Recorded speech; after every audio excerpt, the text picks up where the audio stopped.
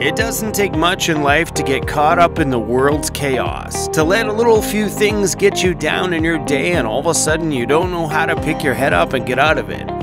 But just as fast as you get into that funk, let me tell you, it's just as fast to get out of it. I am super grateful today for the lifestyle that I'm living. That I have the ability right here, right now, to be out at a campsite, to be able to escape when I need to Today we found that little piece of paradise at a little campground between Vancouver, BC and Squamish. This is called Porteau Cove Campground. I don't always pay for camping, but when it's got an ocean view like this, oh heck yes.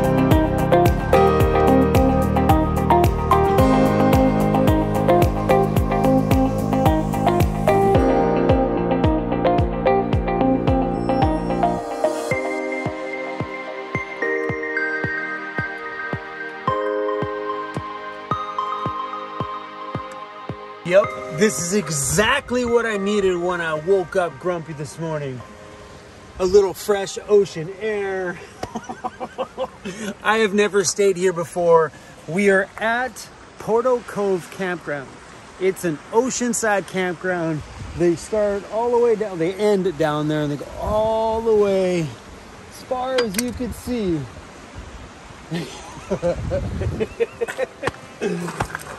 after being grumpy the last few days, this is perfect. Ladies and gentlemen, welcome to my house. Just when you think in life that, well, things can't get any better, you find a great little campsite like this one where you get to look out the back door of your van. This is legitimately the view from my bed. And it's in these moments right here that you remember why you started van life in the first place. Trust me, when you're in your van and this is the view you see with your own real eyes, you realize that that whole hashtag of van life is not fake, it's real. And I found this perfect Instagram moment just off the side of the highway between Vancouver and Squamish. It's insane out here. But sometimes you need days like today to remind you why you started this life or why you want to get into it. I, myself, couldn't be any more happier than I am today.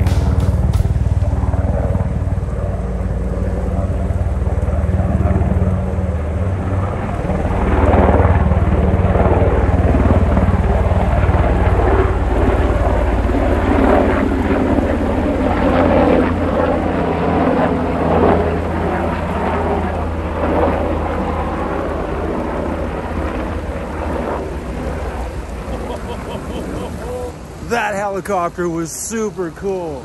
Looked like a military helicopter. We don't see those kind of things around here. that thing was pretty wild, man. Felt like I was like in Rambo the movie or something. All right, guys, we're making ourselves some food here. Um, cooking it on the uh, ceramic pan. Is that ceramic, whatever that is. Um, we're not using the cast iron pan out here today because I need to do a full restart on them and start back fresh and re-season. Yeah. I know some of you are like, what are you doing, Chrome?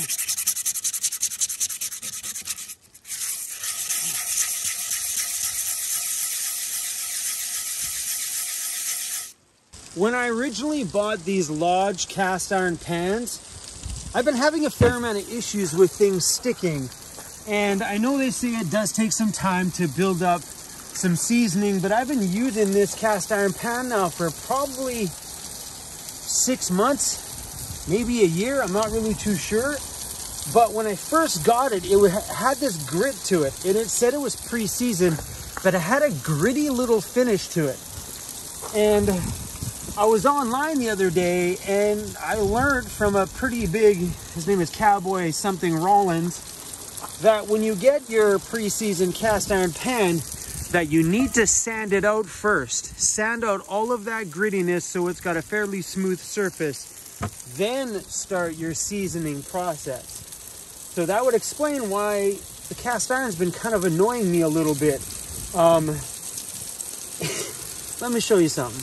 I bought myself a new cast iron set. So it's got a deeper pan than the other one and also has a lid here that fits right along the top. So when I bought this one is when I really started to realize these look different than the ones that I've been seeing on some of those channels. This is really like, like a rock guard liner in the bottom of a truck. It's really rough. And when you see cast iron pans everywhere else, they have a fairly smooth finish. So when I was watching that guy's channel, he said, sand out all of this stuff and then start completely fresh. So we're just, we're just, we're sanding this now.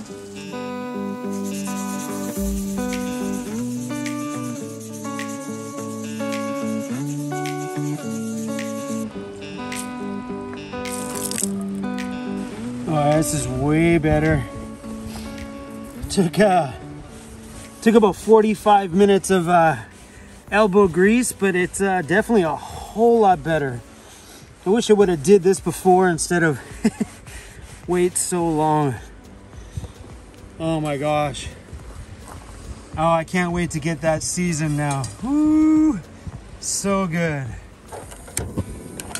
Now we need to heat this up uh, good and warm to make sure it's nice and dry. Then we're just gonna run a super thin layer of flaxseed oil over there for now until I can get access to an oven or the ability to light a campfire and get it good and warm. I am definitely no expert when it comes to cast iron. I've done a lot of online research. I'm still kind of learning, but this right here about sanding these things down when you first buy it just makes sense. So from what I understand is they don't make these like they used to. I guess like 30, 40 years ago, these cast iron pans used to come out of the factory super smooth. Now it's like they skip that process. So anyway, the uh, I just got myself some uh, meatballs. They're ready to go. I kind of squished them so they would cook a little faster. And then, uh, yeah, ooh, these are good. And we're gonna enjoy the rest of this evening.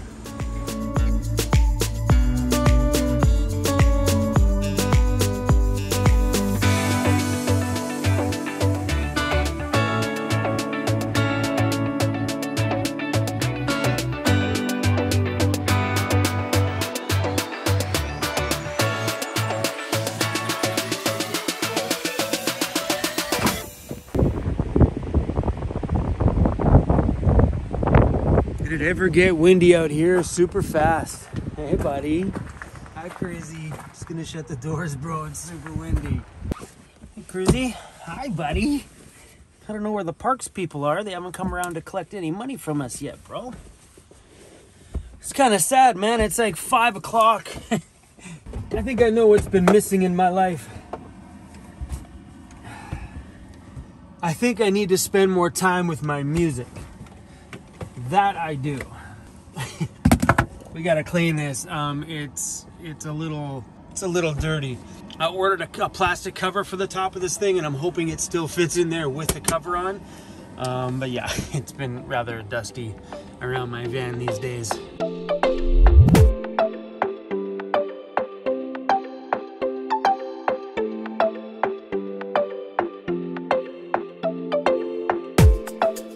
Are you guys ready?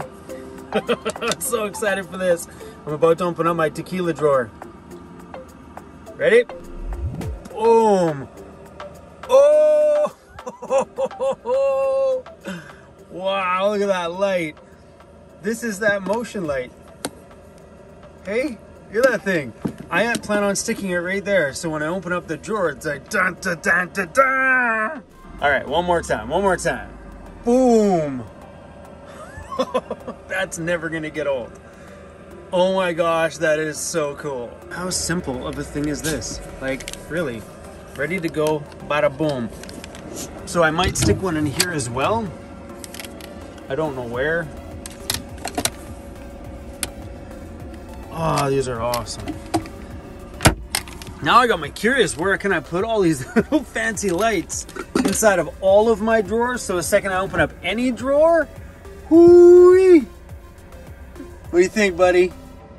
He's like, Daddy, put one in my treats drawer. That's a good idea. I'm gonna put one right up here. Oh, snap. Okay, this, I'm just gonna throw this in here. All right, let's see if this works.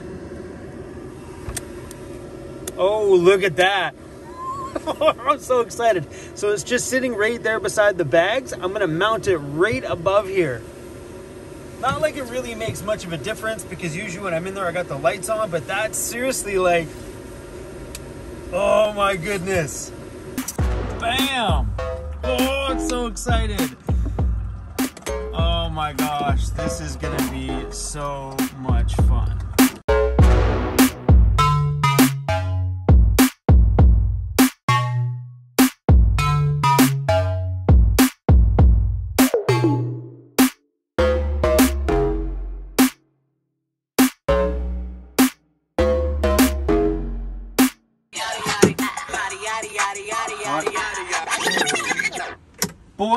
Done, baby.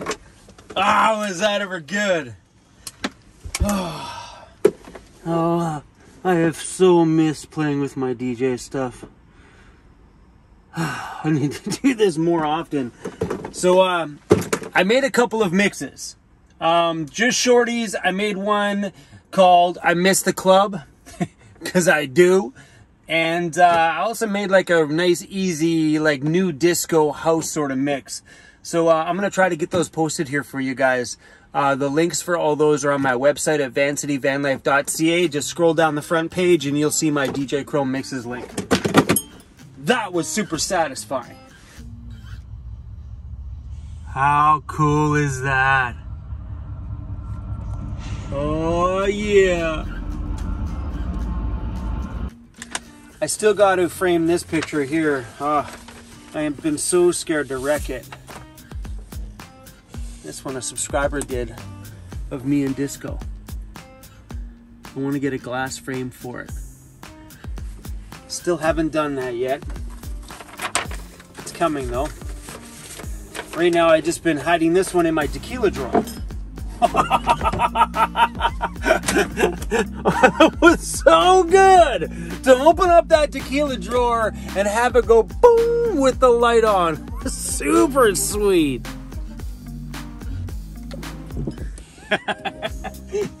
I'm super excited about that. I haven't mounted it yet. It's just still like kind of just sitting here. it's super cool. This is seriously what I have to deal with. Just waiting, waiting patiently to do dishes. That is an amazing job. Good job, buddy. Look how good he did. Not bad. That thing was a, a giant mess. Hey, good job, bro. It's dark out there. We should turn the porch light on.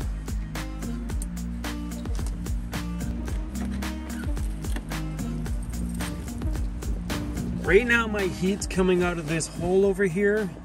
So I'm gonna adjust it tonight so the heat's coming out underneath my bed. Let's see if this makes any difference whatsoever.